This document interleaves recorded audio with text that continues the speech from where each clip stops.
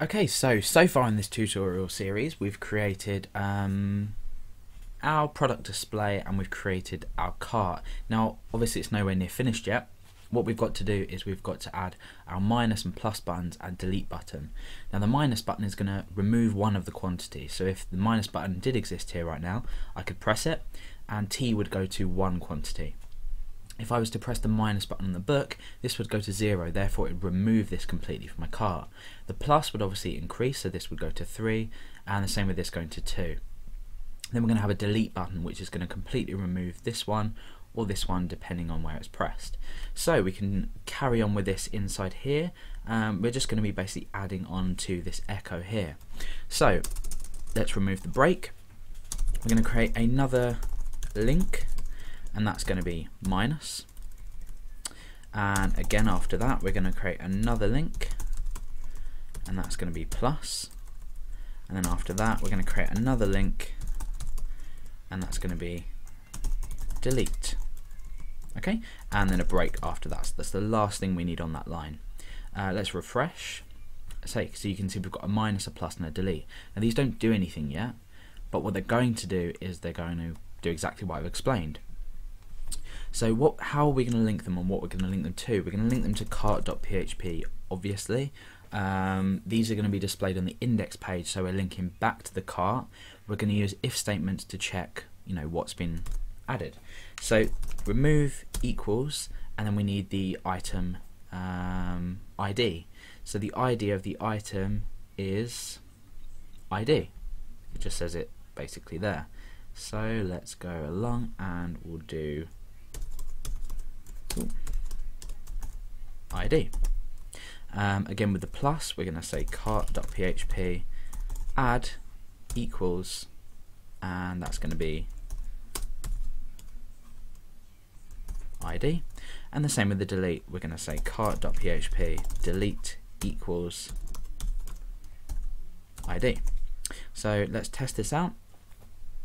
Okay, so I'm going to click delete cart.php delete equals 2. So 2 is our ID of the T, and if I delete that one, that's the ID of 1. Up here we can see it. So that's absolutely fine. The same with remove, so remove equals 2, and remove equals 1. So this is going to remove and add uh, or delete the whole thing, or add one quantity or remove one quantity. Now as far as the add goes, this is exactly the same as this button. So t equals 2, press that, go back, t equals 3. Now, obviously at the moment we're going to have we're, we're going to cart.php but we're having to click back in our browser to come back to this page. Now what we want to do is earlier or the, in the first part of the tutorial I created this page equals index.php variable. The reason I did this is because let's say after we add so we've added blah blah blah. Just after this I might want to say um, header location page. Now what that's going to do is that's going to take me back to the index page after I have added the product. Um, the same with everything else we're going to create in a moment. But so I've updated the add um, if statement and blah blah blah inside of it. So let's refresh. Now if I want to set t to 4 and I click the plus button, oh hold on, let's just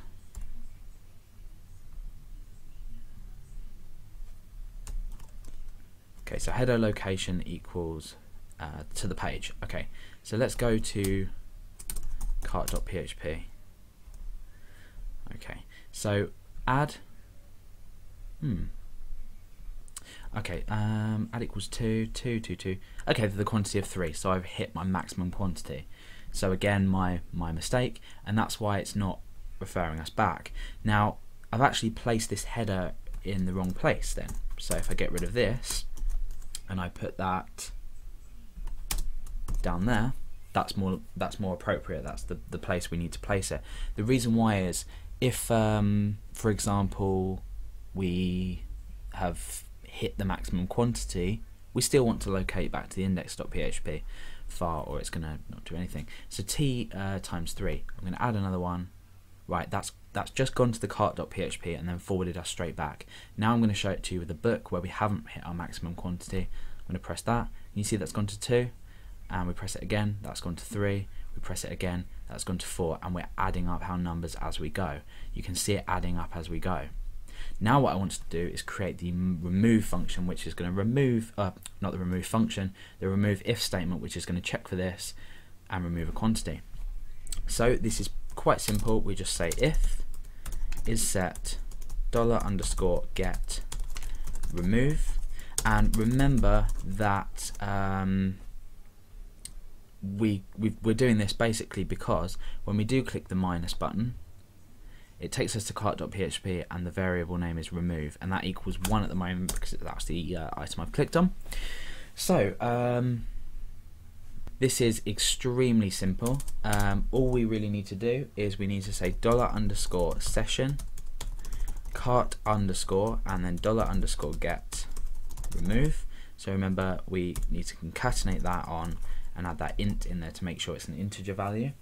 Um, and then we need to say basically then a bit minus minus. This is a short this is short of saying equals something minus something.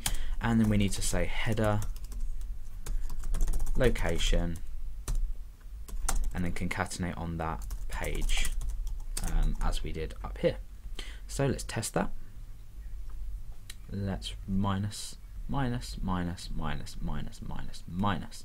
Now we're down to 1 at the moment. So book times 1 equals 399, uh, at 399 equals 399. If I was to remove this once more, we've removed uh, the session uh, entirely because the value is going to be set to 0. So if I click that, that goes. And for some reason we've got this your cart is empty uh, message come up. So let's just double check that. Let's go down. So if value is greater than... Okay, so let's get rid of this else here. That perhaps wasn't needed. We'll add that in later um, if needed. So let's come and refresh. Okay, so now let's add a book again. Okay, now if I was to add some tea, that this quantity will go up to well nothing at the moment because we've hit a maximum. Let's get this down to one. We can use this button to add, this button to take away and this button to add as well and now we just need to create the delete one basically which is going to um, which is going to delete uh, the item completely so I'm going to add these two in uh, set the quantity up a bit set that to say six. Now the delete is um, going to be more or less exactly the same. Let's go up. To here yeah okay so if is set dollar underscore get remove. Okay so it's exactly the same thing. We want to say dollar underscore session. We're basically copying the code uh, just here um, cart underscore and then we're doing uh, dollar underscore get delete. This is supposed to be delete obviously. Um, and again we're saying int in front of that which was we're passing an integer. Uh, and then basically all we want to do is say that equals zero okay? Uh, and then we say header location and concatenate on that page so we're setting the car and the uh, ID that we've specified to zero so it'll automatically be removed from this list so let's say click on delete the T delete the book we're done we can re-add these, uh, increase their quantities as we can before, but we can also delete them. So at the moment we have a more or less functioning cart. The only thing we need to do is we need to add our PayPal checkout button and we also need to clear a few things up. Uh, one of the things I can see at the moment we need to clear up is we just need to add a, a pound sign in front of here. So let's go and do that now quickly. Uh, that will go here. So and pound, refresh, and we've got a pound sign in there. Okay, so what I'm going to do now is add um, a little bit of functionality in that's going to tell us we've got no items in our cart. So um, at the moment we've got nothing up here, but we want something that's a bit more user friendly. If we come back to our cart function, um, underneath this for each thing here, um, in fact, first of all, underneath here we want to keep a running total of everything in our basket, basically. So, um, for now, total plus equals sub, and remember sub is um, the subtotal of our items. So essentially what we're doing is when we add our items to our cart, we're adding this, depending on the quantity, and this together, and then we're producing our complete quantity.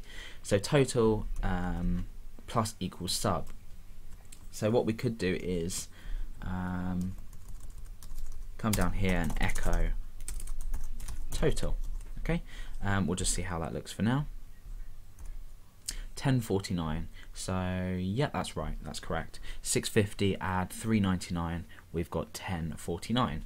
So um, now what we want to do is put a little if statement in just to check if the quantity equals zero. So if, uh, or sorry, if the total equals zero. So if total equals zero, we're going to say to the user, uh, your cart is empty. Okay, um, T, spell it right. Uh, and then else, we're going to show here, basic, um, here, we're going to show our um, PayPal checkout button. So just for now, I'm going to echo PayPal checkout button. Okay, so let's come and refresh.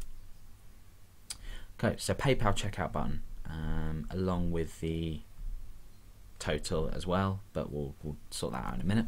So PayPal checkout button. If there's nothing in the cart, your cart is empty. So this is pretty much working. Uh, add, add, and we've got our PayPal checkout button back. Um, but obviously in here we need to uh, echo some user-friendly way to say the total. So total, I'm going to say total, I'm going to say and pound. So I'm using pounds, and I'm going to concatenate on the total. But obviously I'm going to use number format and to two decimal places. Okay, so let's just um, refresh. Okay, so total equals 1049. So that's clearly displayed to us. And then after this, around here, we want to uh, have our PayPal checkout button. And that will be in the next part of this tutorial.